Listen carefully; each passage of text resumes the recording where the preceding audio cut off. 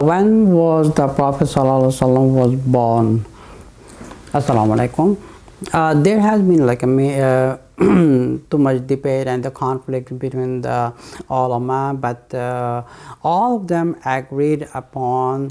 that uh, majority the people who does not have a knowledge they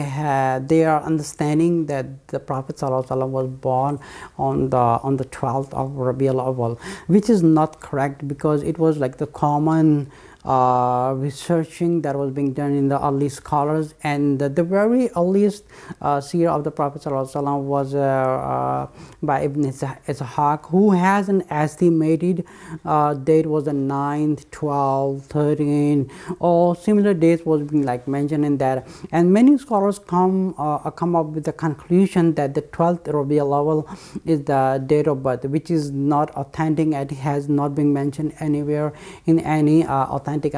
rather it was become so common and so much popular so everyone those who does not know does not have the knowledge about islam so all these people are thinking the prophet was born in the um, on the 12th rabiul awal but rather um, we do have some signs that from where uh, the Prophet ﷺ mentioned that when was he born. Uh, he was born on Monday because the Prophet ﷺ used to fast on Monday and the Sahaba asked him why did you fast So the Prophet ﷺ said uh, I was born on Monday. And another sign uh, which was given by the Prophet ﷺ, he was born in the in the year of um, elephant when there was a great uh, has a whole entire incident about the history in, in the history where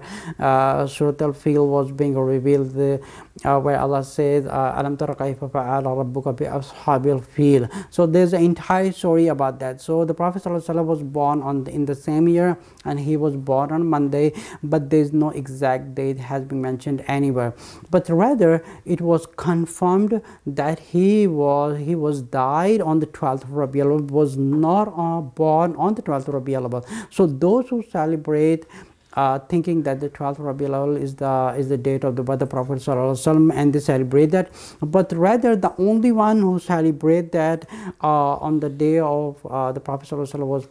uh, was died is the shaitan. He's the only one who would celebrate that. Nobody else celebrate that. But rather we uh, we should adopt the sunnah in our life and we try to adhere to the main uh, fundamental teachings of the Prophet Sallallahu